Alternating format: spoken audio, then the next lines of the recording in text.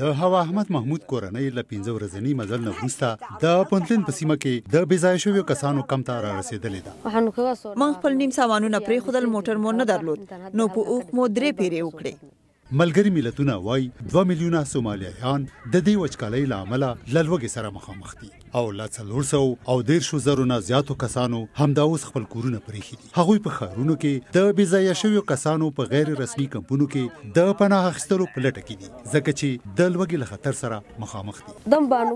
وچکالي دې ته اړ کړو چې دلته د اوبو لپاره راشو. موږ وېره درلوده چې له لوږې او تندې به مړه شو.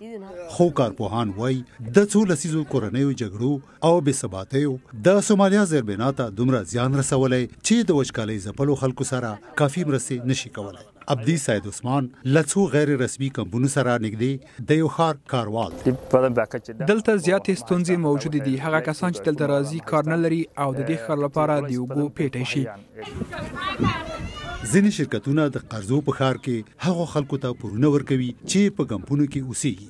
ښاروال وايي چې یو څه مرستې یې ترلاسه کړي، خو د حکومت او نړیوالو سازمانونو لا زیاتو مرستو ته اړتیا لري چې دغه سخته اړتیا پوره کړي.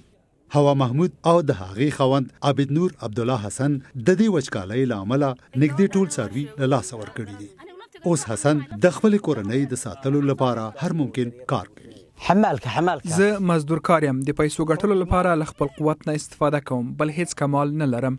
حوا محمود او حسن د ښوونځي فیس د پرې کولو وس نه لري او په دغه کمپ کې وړیا ښوونځی نشته. هغوی د خپل کوچني زوی په اړه ډېره اندېښنه لري چې د اختلاج تکلیف لري.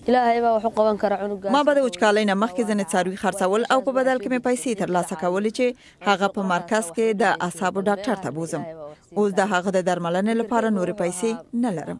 دې وچکالۍ حوا محمود له بې سرنوشتۍ سره مخامخ کړې ده. هغه همدا اوس د خپلې کورنۍ د ژوندۍ ساتلو لپاره هڅه کوي تاج امین د آشنا تلویزیون امریکا غږ